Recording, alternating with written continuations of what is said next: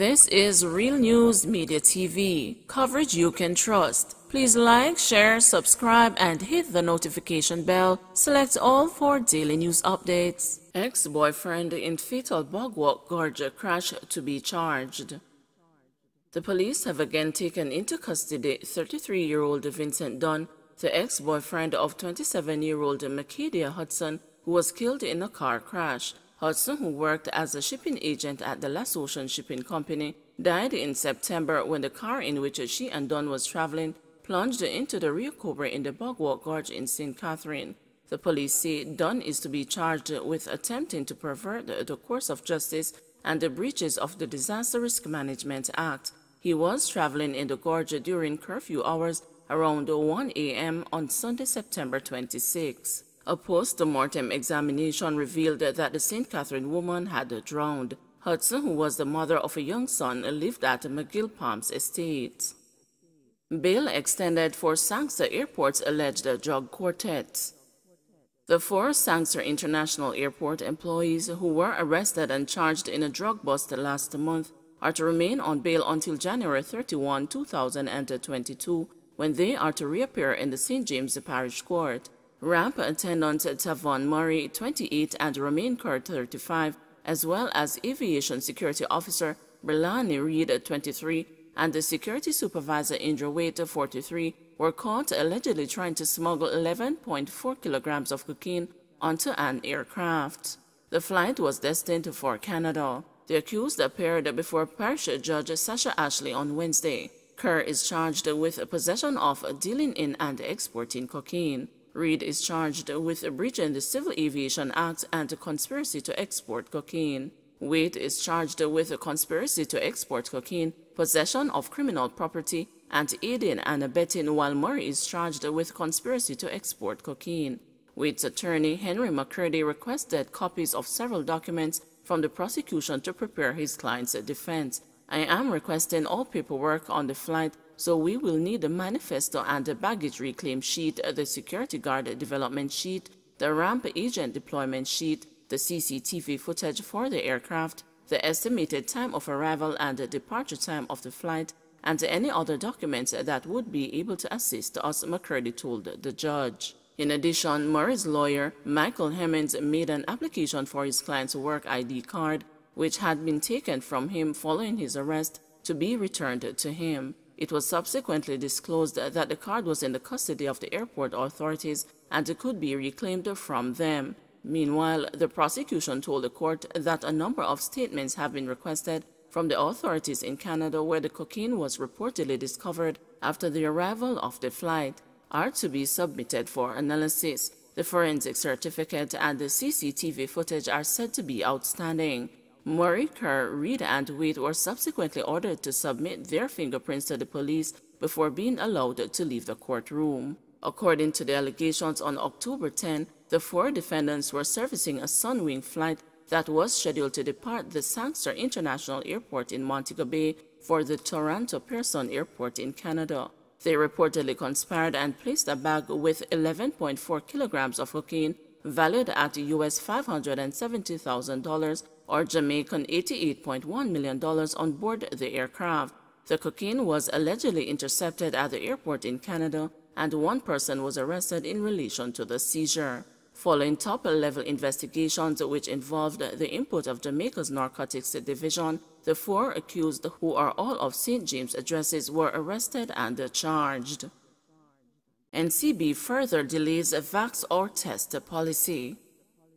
The National Commercial Bank has extended the suspension of its vaccine or test policy to next week Friday following a conciliatory meeting with its staff association and the Ministry of Labor and Social Security on Monday.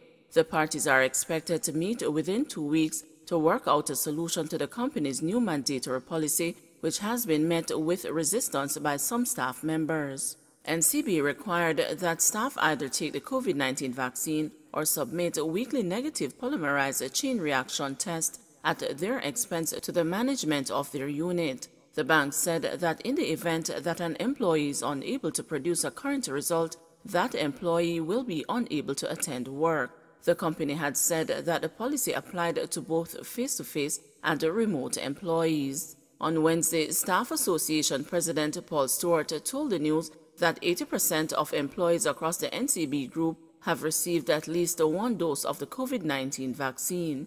It takes time. Some people don't make up their mind yet. We have said to them, unresponsibly if anything wrong with the staff, unreliable because unforcing this thing on them, Stewart said. Vaccine manufacturers have sought the passage of legislation indemnifying them against the civil litigation, suggesting that hesitancy was not widespread. Stewart said that more than 400 people turned out at the recent vaccination drive at the Banks Wellness Center. So it's not a situation that people don't want to be vaccinated. Some of them are not ready. They have actually suspended the request for the test and virtually everything is on hold, he said.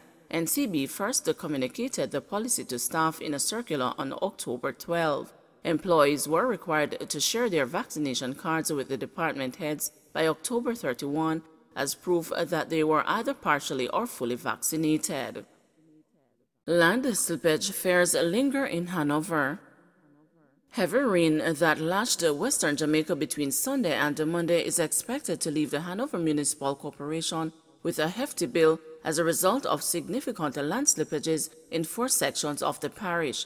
Land slippages in the Bachelor's Hall district, the hardest hit of the four affected areas, are likely to generate a hefty repair based on the significant scale of what unfolded in that community. According to Kenesha Stennett Dunbar, the disaster preparedness coordinator for Hanover, the land slippages sparked flooding in some areas, but there was a quick runoff when the rain ceased. There were also reports of slippages in the vicinity of the Round Hill Hotel and Villas, Bamboo Drive on First Hill Road. Stennett Dunbar said there were no reported instances of major flooding in the parish, albeit the small amounts of surface water had gathered in some areas. The disaster preparedness coordinator said a detailed inspection will be done on the land slippage in Bachelor's Hall to evaluate the possible impact it could have on nearby houses. Maroons accuse Currie of Taliban-style dictatorship but chief defends treaty powers.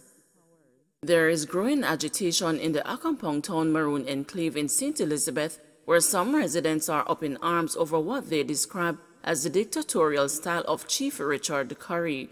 They allege that persons close to the leader have been using verbal and physical attacks to repel any resistance to orders.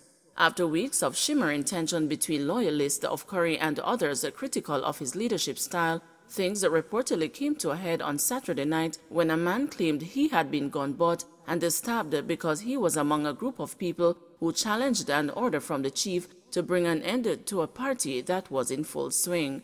The injured man submitted videos and still photographs to the news showing wounds to his head, hands, and feet. According to the man who asked that his identity not be revealed, he was attacked by men close to the chief. They attacked me because they saw me as the weak fence, said the injured man, adding that a silver gun was used to hit him in the face with an alleged enforcer threatening to shoot him. Me run going on one van and him take out his knife and stab me up, added the man, who is being urged by relatives to report the matter to the Jamaica Constabulary Force but is seemingly concerned about further aggravating the situation as it is not Maroon custom. Last month, a video emerged on social media showing Currie attempting to shut off another unauthorized part in Accompong, with some residents taking a combative stance as the situation threatened to become confrontational. A female resident who said she supported Currie's ascension to the leadership of the Maroon community in February said that she now regrets supporting him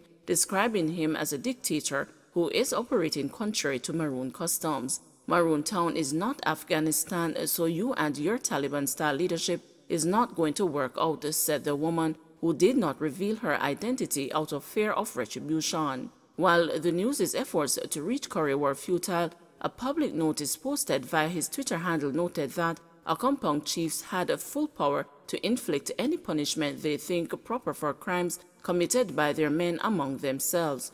The November 8 tweet added, It has come out attention that in the course of their duties, members of our internal security detail were attacked by an individual known to the community to be of unsound mind in their peaceful attempt to bring to an end an event happening in the community. My administration is currently investigating the matter and whether or not excessive force was used. Alex Moore Minot, the Minister of Foreign Affairs in Currie's administration, told the news that the man who claimed that he was attacked was a troublemaker. He said that the matter would have been referred to their public relations officer for a fulsome response. However, up to press time, the news had not received that response.